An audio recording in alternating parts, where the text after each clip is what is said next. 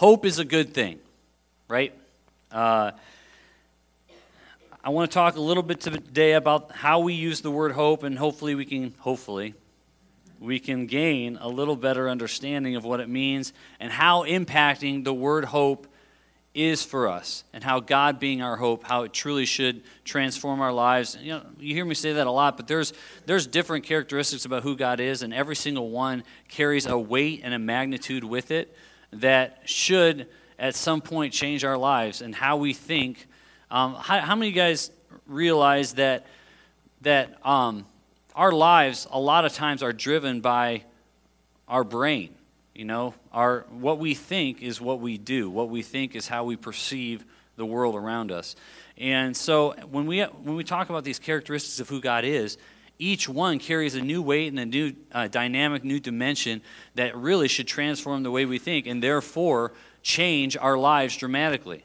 Because God is limitless. God is so far greater beyond. Did I do that? Why are you guys reading that? I, that was an accident. Um, God is so far uh, greater and bigger beyond our imagination, beyond our expectation, that uh, every, anytime we, we learn something about God, it should transform our lives. That's why the Word of God is transcending of time. This, this book right here, um, though maybe it wasn't written to us, will be for us for generations upon generations upon generations. And it will still bring life to you every time you read it. Maybe not, maybe not consciously, but when you, I'm telling you, you can read the book of Leviticus, or you can read the book of who, who knows what, one of those books that is really difficult to understand, and supernaturally, the life of God is being placed inside of us because it is the Word of God that we are taking in. Okay? It's like, you, know, you might eat something, take a piece of bread, or something that's kind of, you know, you, you eat it and you're not like, wow, okay, that was an amazing meal. Okay, it may not have been an amazing meal, but what it's still replenishing your system. It's still giving you food. And that's when we read the Bible, we, we read the Word of God, something supernatural happens that it just feeds us, even if we don't have this massive revelation. Um, but that's why it's good to have a habit of taking in the Word of God. Um, I want to start in the book of Psalms today, and I think, do I have that one up? Yeah. So you don't have to turn to it if you don't want to. Um, we're going to read this psalm. Um, and this is a psalm of David. Uh, and this, David was in distress at the time of writing this passage. They don't really know why. Um, they think there's some people that believe that he might have had a close friend that passed away, um, but they don't really know why. But it is obvious that David uh, was in a time of distress when writing this. And it says, I said, I will guard my ways that I might not sin, I may not sin with my tongue. I will guard my mouth with a muzzle so long as the wicked are in my presence. I was mute and silent.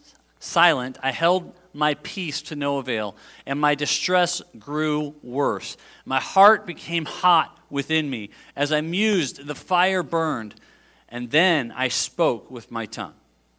So you can kind of see the distress of David coming out. But then he realized he's, he's coming to this point. There's going to be a couple, uh, just in this passage, there's going to be a couple um, oh, um, what's the word I'm looking for? Um, turning points. Uh, and just in this passage alone, right there's a turning point. So he, he talks about how distressed he is. And this is a little bit of a turning point. He says, But then I spoke with my tongue, O Lord, make me know my end. And what is the measure of my days? Let me know how fleeting I am. Behold, you have made my days a few handbreadths, and my lifetime is as nothing before you. Surely all mankind stands as a mere breath. Surely a man goes about as a shadow. Surely for nothing they are in turmoil. Man heaps up, heaps wealth and does not know who will gather. And now, O Lord, for what do I wait? And, and this is actually uh, Psalm 39, 1 through 7a and I'm going to turn the slide, and there's going to be the last uh, line of 7b. But this is another turning point right before we get to the next page. And um, so, what is he saying here? So, first, you see the, the great distress. Then he, he goes into this passage and he says, basically, what is, what is life? It's pointless, right? I mean, I mean, you look at God, my, my life is a shadow compared uh, to God. My, um, you have made my days a few handbreadths. My lifetime is as nothing before you. Um, and it talks about surely for nothing men are in tur- turmoil and they heap up wealth, not knowing who will gather it. And Lord, for what do I wait? Saying like, there's there's nothing in this life for me. There's nothing in this life for me. But my hope is in you.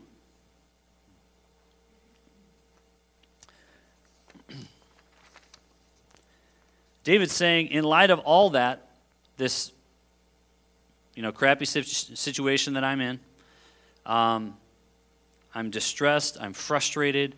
Um, and how many, I, I know probably a lot of you, I do this, but in times of crisis, it may not be crisis in my own life, but it may, might be somebody, an acquaintance or a friend of mine has a friend who passed away or who's really sick, terminally ill, whatever. Uh, in those times, we at least take a few moments and reflect on our own life, don't we? I mean, just naturally, it kind of naturally occurs. I mean, if I hear of somebody whose daughter, something bad happened to their daughter, I, at least for a few moments, reflect a little bit on my daughter, right?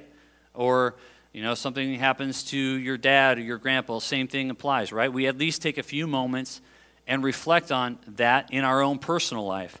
And I think this is what David uh, is doing this. He's saying, he's kind of, he realizes this is a situation that he's in. Uh, and then he starts to reflect on the point of life, and he starts to reflect on his own life.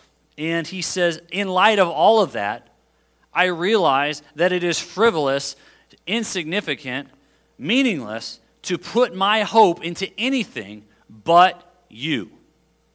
Okay? That's what, that's what he's saying here. That, that's how I'm interpreting it. Um, and I usually am right. Um, but there is other passages that are similar to this. This is not just David. I mean, I'm sure some of you thinking about Solomon right now in the book of Ecclesiastes, chapter 1. Uh, uh, Ecclesiastes chapter 1. Let's go there. If you have your Bibles, turn to Ecclesiastes chapter 1.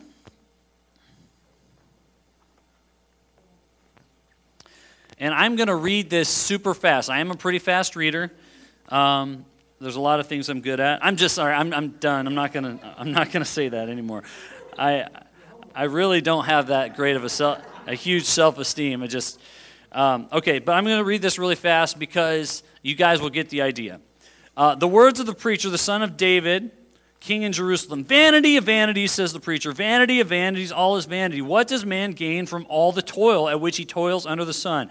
A generation goes and a generation comes, but the earth remains forever. The sun rises and the sun goes down and hastens to the place where it rises. The wind blows to the south and goes around to the north. Around and around goes the wind, and on its circuits the wind returns. All streams run into the sea, but the sea is not full to the place where the streams flow. There they, there they flow again. All things are full of weariness. A man cannot utter it. The eye is not satisfied with seeing, nor the ear filled with hearing. What has been is what will be, and what has been done is what will be done. And there is nothing new under the sun. Okay, basically saying here, there's nothing new. This everything that I experience has been experienced before. What is my life? What what significance does my life have? There's no rem- oh, where am I at? Verse 10. Is there such a thing of what it says? See, this is new. It has been already. And this is way back in the day. This is a long time ago. And so, uh, how much more uh, does this mean for us? Um, it has been already in the ages before us. There is no remembrance of former things, nor will there be any remembrance of later things yet to be among those who come after. See, he's predicting that already. I, the preacher, have been king over Israel and Jerusalem, and I applied my heart to seek and to search out by wisdom all that is done under heaven. It is an unhappy business that God has given to the children of man to be busy with. I have seen everything that is done under the sun, and behold, all is vanity, and not just that, it's a striving after the wind. Try and go catch the wind, see, see if you have success. There's no point.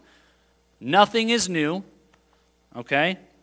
And then he goes to talk about the vanity of self indulgence in chapter 2. I'm not going to read that. The vanity of, living, uh, of, of wise living. Uh, now, this is, now let me just say this this is Solomon kind of on a soapbox here. Okay? You know, he's, he's uh, You know, he's, he's probably talking. I mean, this dude is wise. Okay, he's the wisest man that ever lived, and he's talking about the vanity of wisdom. Okay, um, so he's ultimately what, what this is getting at is that there's we're, we're in this life and, and nothing new is happening in this life. There's there's there's repeat repeat generation after generation has all experienced the same things. And nothing is new and nothing is worth um, uh, collecting storing up treasures on this earth. There's one other passage in James chapter 4, he kind of says the same thing. He says, Come now, you who say, Today or tomorrow we will go into such and such a town and spend a year there and trade and make profit. Yet you do not know what tomorrow will bring. What is your life? For you are a mist that appears for a little time and then vanishes. Okay, so I read all those just to say there are several people in the Bible that are realizing and they have come to this place, this, uh, you know, this, uh, I don't know, part of their journey, this path that they're saying, I mean, what do I do? Should I just, I mean, because there's really nothing, there's no point in living. There's, life is meaningless. Okay.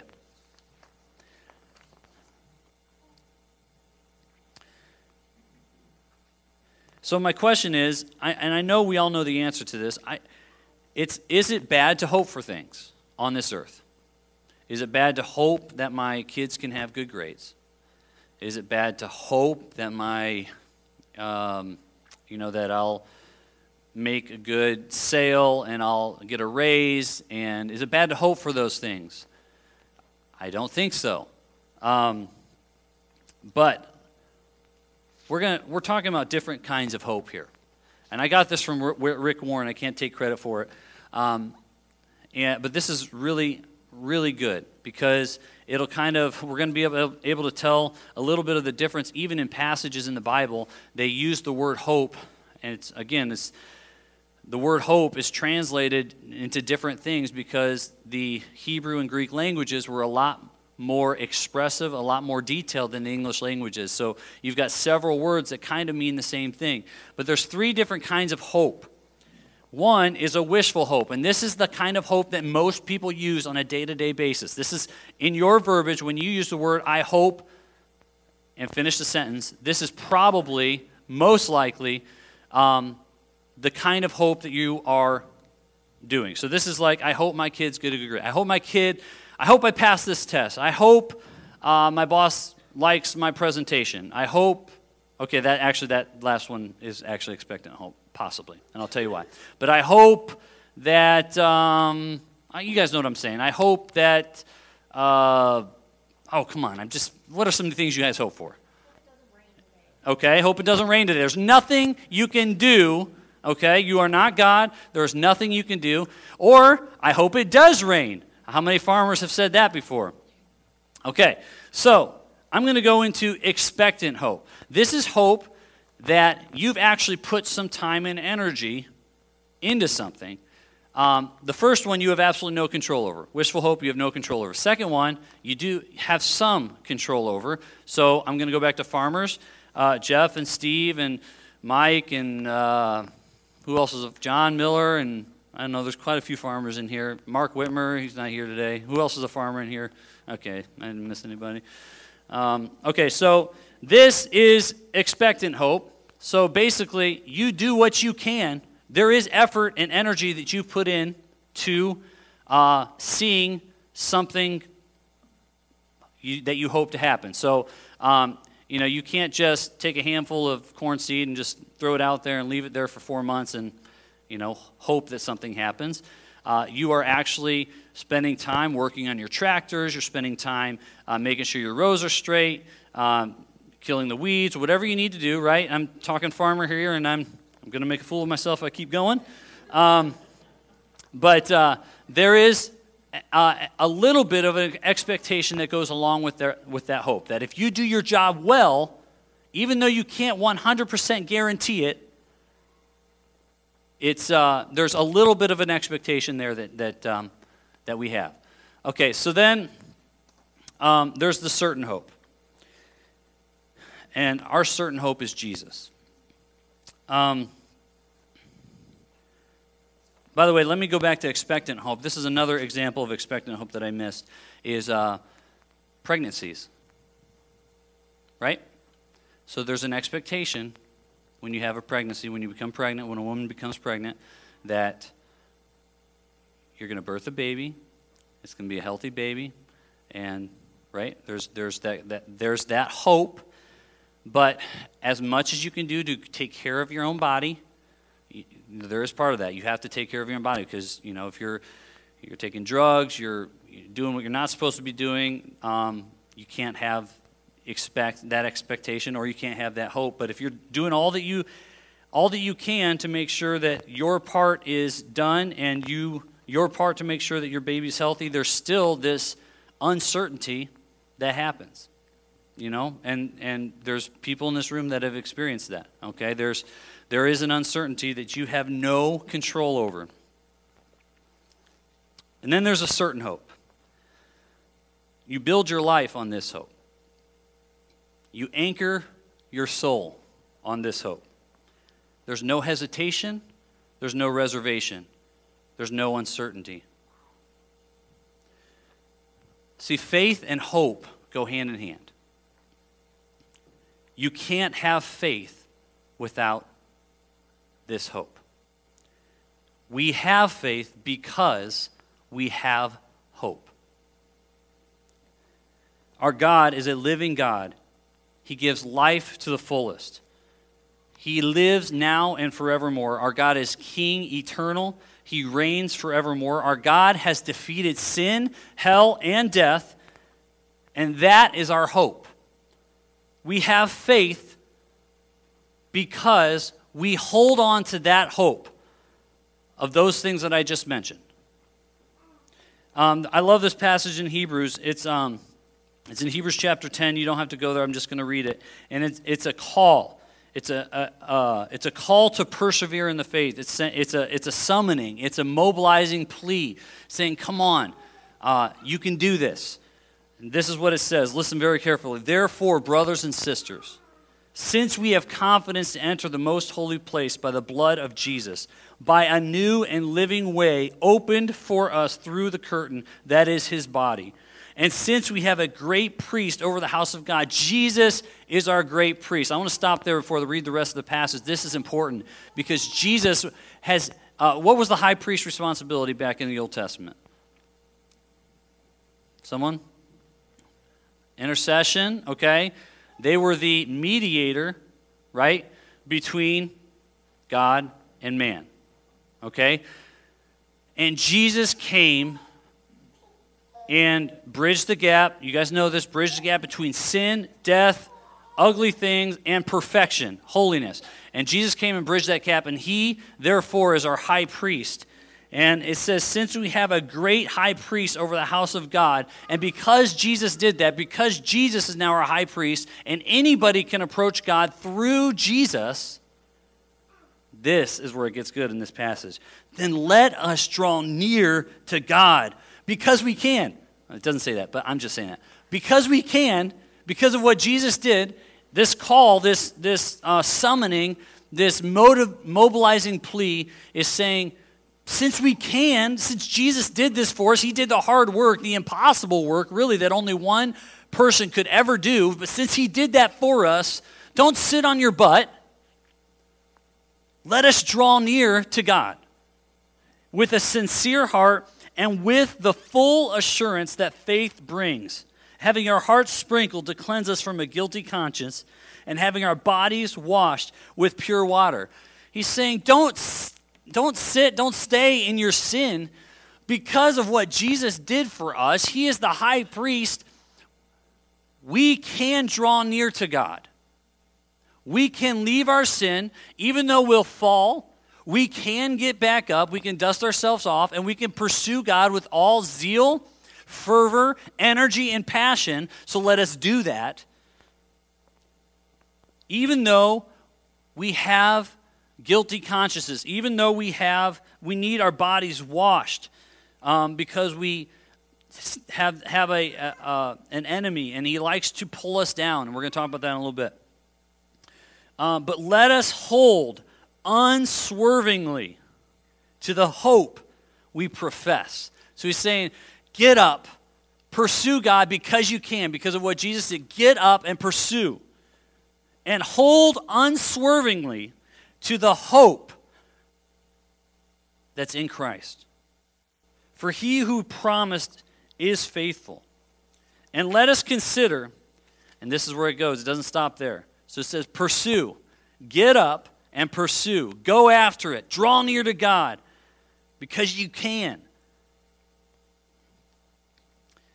And then it says, and let us consider how we may spur one another on towards love and good deeds, not giving up meeting together, as some are in the habit of doing.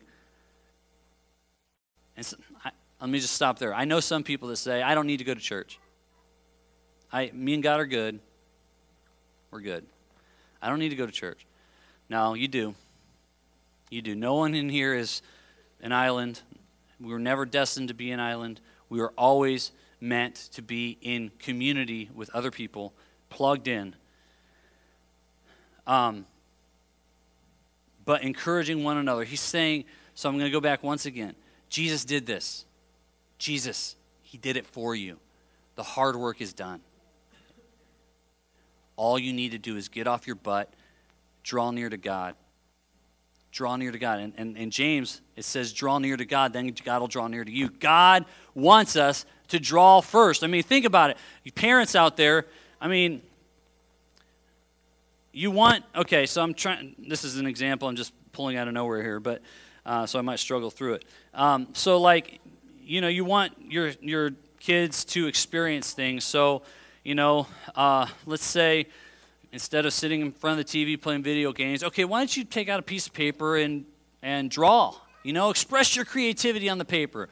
I never did that, but maybe some kids do that, and that's good. I'm sure, I'm sure Becca and Cody and all those other people that are way more artistically gifted than I am um, have done that. But listen, um, we could get out the paper for Asher or Bo or anyone and say, okay, here you go. I, I did some of the work for you.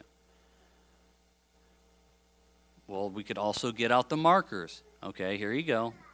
Here's the markers. We could also pull up a desk and a chair. But they need to do something. They need to have some investment. And this is, I think, what, what, what, what we're saying here is that Jesus did the hard work. I think part of the part of the heart behind draw near to God and then God will draw near to you is saying you got to do something. Jesus did all of this. The least you can do is get off your butt. I know I'm saying that a lot. I won't say it anymore. But get up and pursue. Do something. Okay? Do something. Um, and don't give up meeting together because that's important. And encourage one another. Okay, so it's not this, I know I'm uh, staying on this passage a lot because I really like it, but it's not just about what God did for me. Yes, that's the hard part. And shame on me if I don't respond and draw near to Him because of what He's done for me. Shame on me. But not only that, that shouldn't even be a thought. You know, that should be just a natural response. Go, follow Jesus. So that should just be natural. But then he says, maybe what you need a little more encouragement with is saying exactly what I'm telling you, tell other people. Encourage them. Be plugged in. Be a part of a community. Um,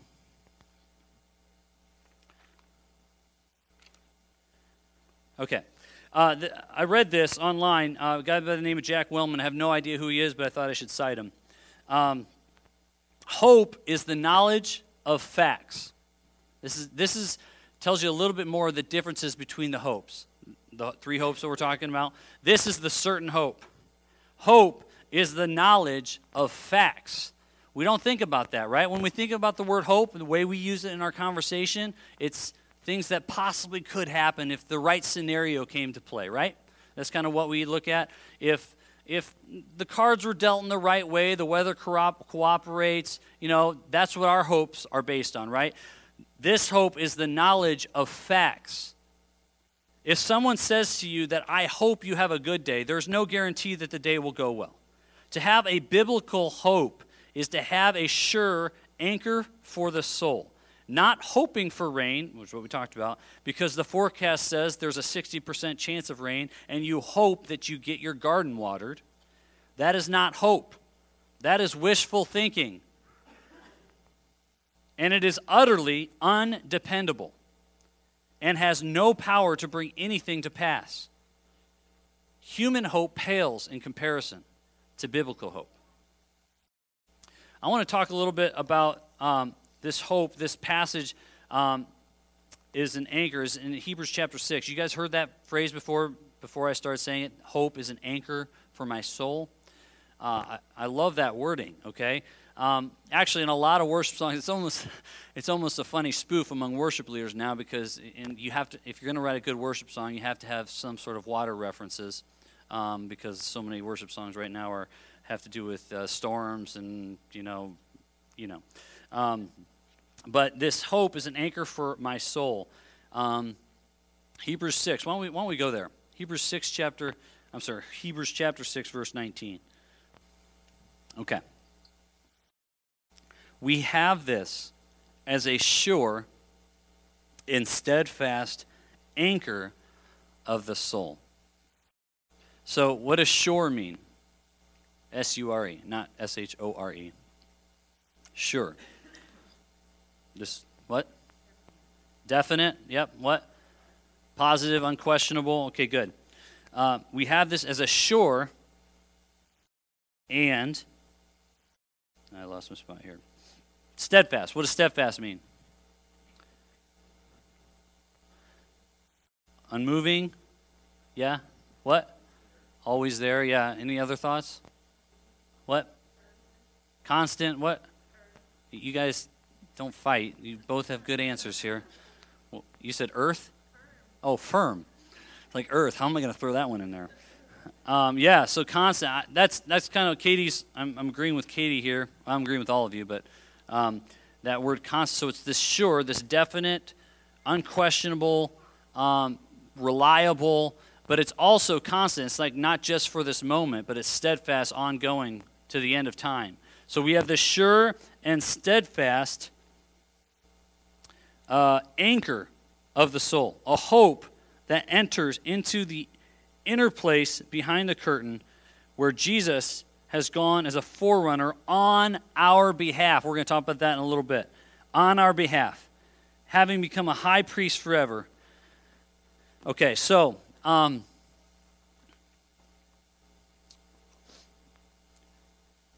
purposes of an anchor. I wonder what's my next slide here. Oh, I, did that one. All right. No more slides for you. Um, what are purposes for an anchor? What? Go ahead, Joyce. Hold steady. Secure. Okay, I've got two, and I think those are uh, both hitting on it. One is a, it keeps a ship or a boat from drifting. So, how many have been in a boat? So, Ryan Wellman, you've been on a boat. Do you, when you're fishing, fishing in um, in the ocean down in Bama, um, do you use an anchor or not? Sometimes. Okay, what is the purpose of using an anchor when you're fishing in Bama? Okay, so yeah, to keep you from drifting. And the other thing is stability in a storm, right? So um, those are the two main uh, reasons for an anchor. And there's a reason he uses this terminology. We need anchors for our souls, don't we? It's so easy to drift. And I believe that this is one of the biggest tools, uh, deceptions of the enemy.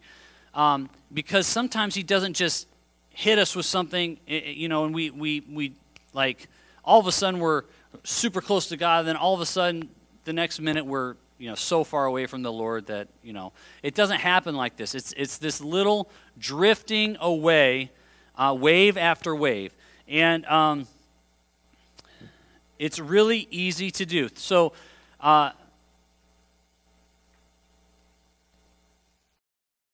how many have ever been in a situation where you, have all of a sudden are saying, where, where am I? How did I get here?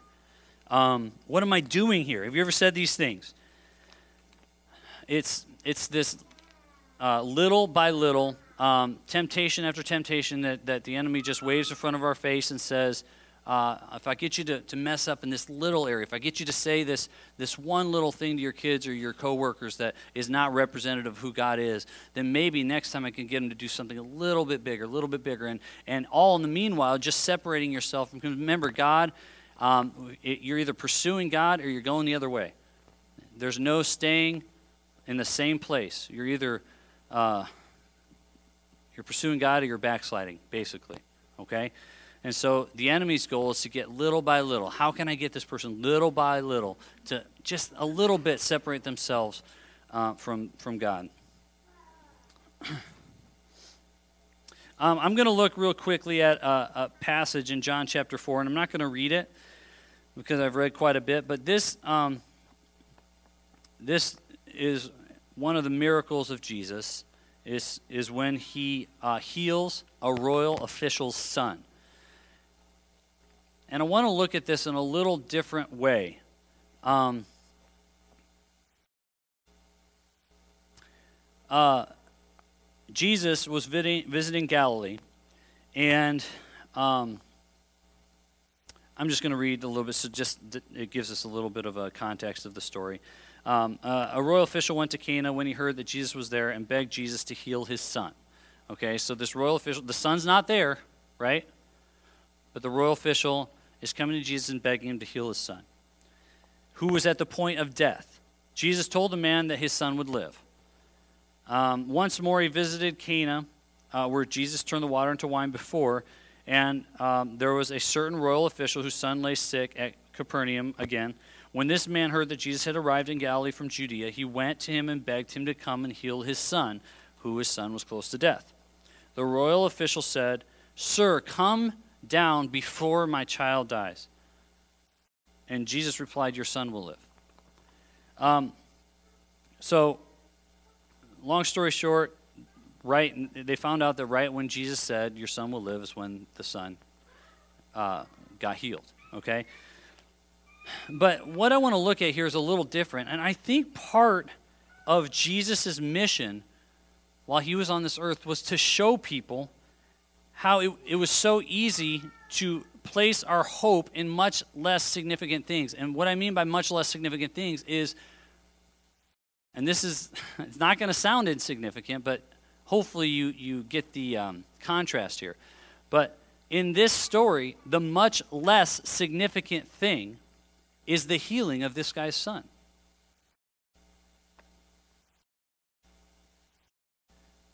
I mean, think about all the miracles of Jesus feeding the 5,000, healing the lepers. These are all, these all pale in significance to what Jesus did for us and the hope that he gave us by defeating sin and death on the cross and allowing us to have access to the Father. And those don't sound like small things. But what I want to get at is where is our where does our hope lie? I believe it's fine again to have you know, our earthly hopes. We all have earthly hopes, and that's okay. We hope that our son and daughter stay healthy. We hope that uh, you know, again, we get we get uh, we get a raise. We you know we hope our crop has a, a great harvest season. You know we um, we hope that we make a certain amount of money. Okay, but what I'm trying to get at is those, we have to understand that those hopes are very, very insignificant compared to the hope that is an anchor for our souls in Jesus Christ. Pales in significance. And it's, it's difficult sometimes to because some, sometimes these hopes are very close to our hearts. I mean, think about it. I know I go to this example a lot. It's just because I'm, you know, I'm a dad of four children. So a lot of my hopes have to do with my kids.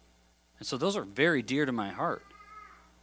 But, like, hoping that my, my, my kids have marry uh, men and women of God. Um, man and women of God.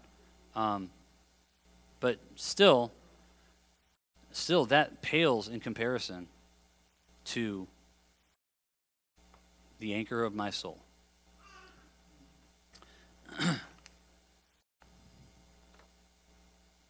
um, the royal official in this passage was hoping that Jesus would heal his son. How many of you would hope that in, if you were in that scenario and you saw you heard that Jesus was coming to town, I mean, I would be if my if my son or my daughter is sick, terminally ill, and I know that Jesus, who does miracles and who has a history of just healing people left and right, I am bursting at the seams. I am going with all fervor and all energy to that person, and I'm saying, Come heal my son. But Jesus says, listen to, listen to what Jesus says, and we don't catch this in the first time we read uh, through this passage. Unless you people see signs and wonders, you'll never believe. Gee, I believe Jesus wanted to heal. I believe God wants good things to happen to us but not at the cost of us focusing on those more than we focus on Him. Um, unless you people see signs and wonders, you will never believe.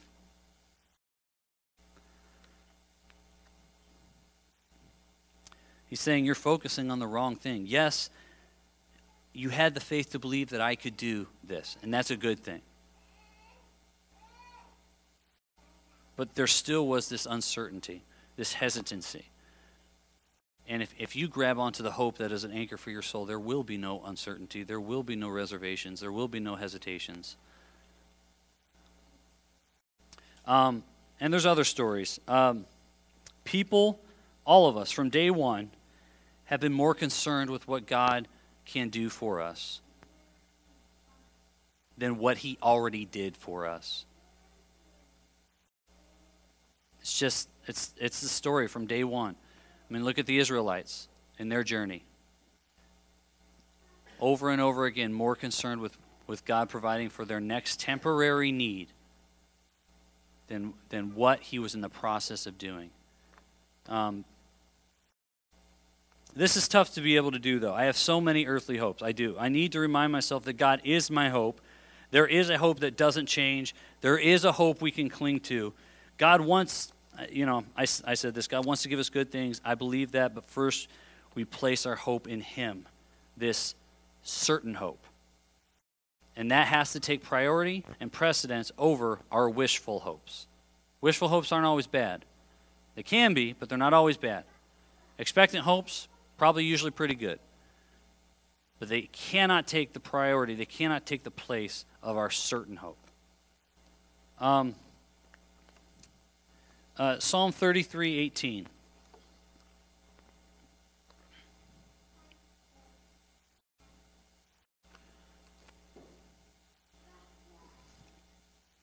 Psalm 33 18. Behold, the eye of the Lord is on those who fear him, on those who hope in his steadfast love. Okay? Um, that word hope is the certain hope. Okay? Um, so he's saying, uh, 18. So uh, he's saying, uh, the eye of the Lord is on those who fear him and on those who hope in his steadfast love. It's those that have, have that anchor for their soul, those, those that have said, that have clinged to this, this, this rescuing, this restoration, this plan of God that is so impacting and evident in my life. Um, uh, that's that hope. And uh, I want to turn to um, this. This will give you a quick contrast in Proverbs chapter 10. If you want to turn there real quick, I think this is the last passage I'll turn to. Um, Proverbs chapter 10, verse 28.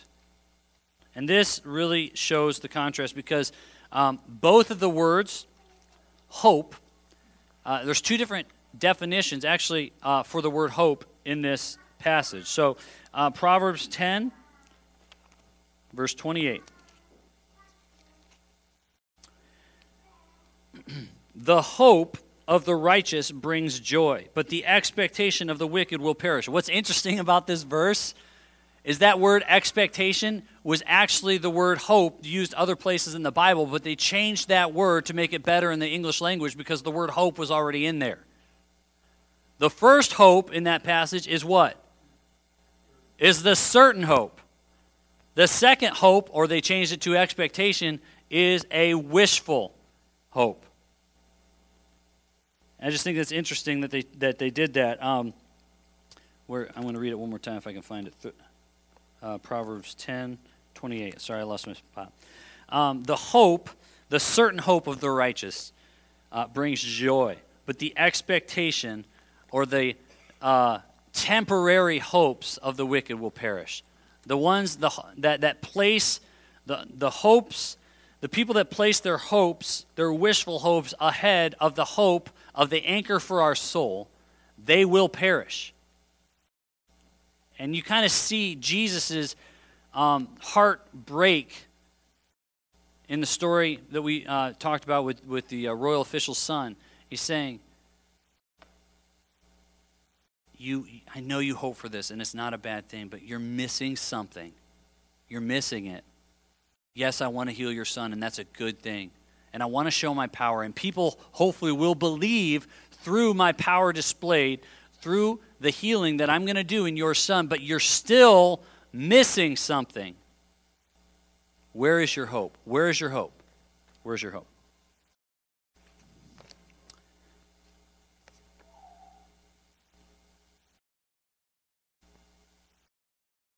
All of the earthly hopes will eventually fail, fall short, and end. They all have seasons. There's one hope that does not. We have a hope. He's the hope of glory. We just don't we don't just hope that we can reach heaven one day. Jesus is our hope. It's not a I wonder if this will happen scenario. It's not if I live this way then maybe I'll make it. We know that we're loved by our Father. We know we are sealed in the blood of the Lamb. Jesus went on our behalf. He became the great high priest. He bore our sin and bore our shame. And we are sealed in the blood of the Lamb. And this hope is an anchor for our soul. Meaning, it's the reason I can persevere through the nastiness of this life. It's the reason I have peace and joy in the midst of storms. I can love those who hate me or those who are unkind or unjust to me. Our hope is the same yesterday, today, and forever. Our hope doesn't change. Other hopes have seasons, other hopes have expiration dates. Ours doesn't. And this is why I live. God gave us hope through His Son. And guess what? It's not the hope of a better earthly life, it's not the hope of more money or a better car or more friends or more popularity. Our hope is Jesus. Earthly hopes aren't necessarily bad or wrong, but they are fleeting. Luke 18 1. Um, well, before I go there, I want to tell, tell this quick story, uh, and then I'll be done. Um, last weekend at Unite Ignite, Jesse Johnson shared this story. And I'm not going to get it exactly right, but I'm just going to be super quick with it. Um, Jesse does an amazing job of, um, he works at this uh, school, alternative school called The Crossing in Knox. And every year, he, he invests not just into the school, he invests into the lives of the, of the people that are at this school. And uh, one particular person uh, was struggling in life and he you know, got kicked out of school. I don't remember all the details, but um, he was getting a tattoo. He was talking to Jesse about this. He was going to get a tattoo, and, and the tattoo was going to be no hope. And so Jesse was talking to this guy. I have no hope. I have no hope. Um, and through that process, I don't even know how long it was after that, but God grabbed a hold of his heart and his life through Jesse and through the ministry of the crossing. And um, and I, I, it was a while later, uh, Jesse got in a conversation with him about the tattoo. He says, "So you're going to change the tattoo, right?" And he's like, "No, it's, it's still going to be no hope, but it's going to be K N O W, hope." He said, "I used to have no hope, but now I know hope." That's a guy who has his priorities straight. It's a guy who knows that his, the hope is an anchor for his soul. That wishful hopes even though they may be good, cannot, must not take the place of our certain hope in Jesus.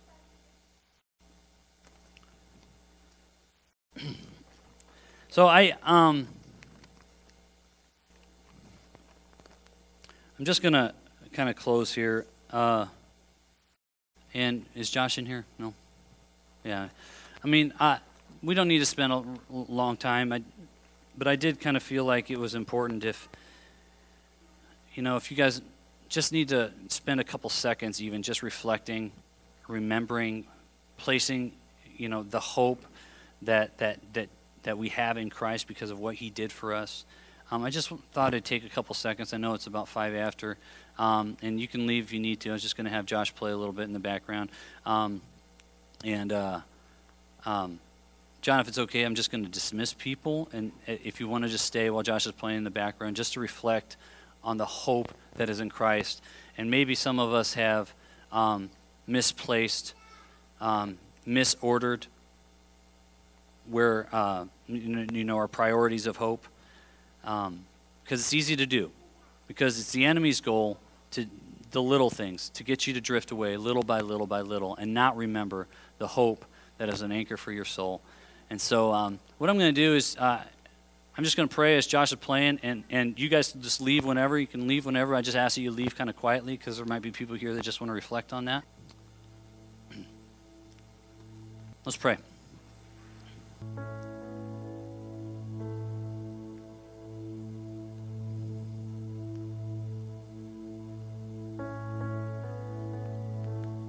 Lord, we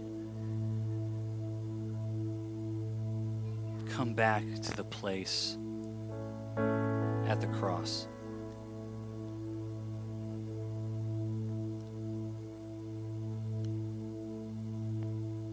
We remember, God, that you did something that no one else could ever do. You, you provided for us something that no one else could provide. You bore our sin.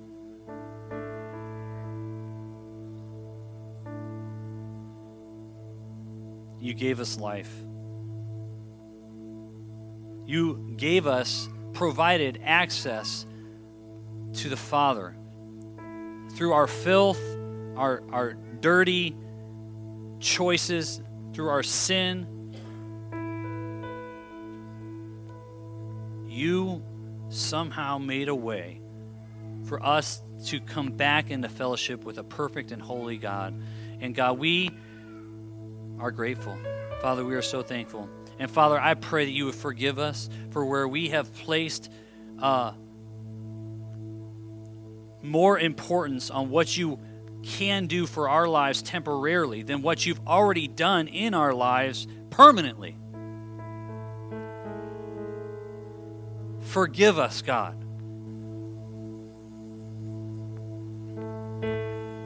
Father, I pray if there's anyone in here, God, that that has misplaced those priorities, God, I pray that we would be able to right now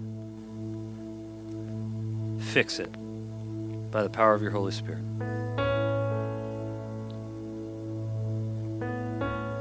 If you want to just stay in here and reflect, if you want to leave, you're more than welcome to be dismissed. Just encourage you to please do it quietly. Thank you.